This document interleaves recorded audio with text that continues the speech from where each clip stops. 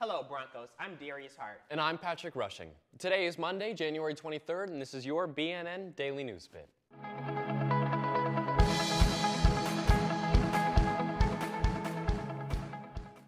Hey, Broncos. Get excited for a sweet treat today because it's National Pie Day. National Pie Day was created simply to celebrate pies. It's a day for all to bake or cook their favorite pies, and even more importantly, it's a day set aside to enjoy them. The first pies appeared around 9500 BC in the Egyptian Neolithic period or New Stone Age. So, what's your favorite type of pie, Patrick? Honestly, I'm, I'm a big fan of buttermilk or peach pies. Oh, I love peach pie, but my favorite's apple. Yeah? Well, while there aren't any places you can go to get a free slice of pie in McKinney, that shouldn't stop you from going out and buying a pie from your local bakery or even making one yourself. Well, that's it for today, Broncos.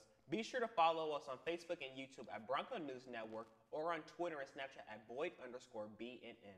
Have a great day, Broncos.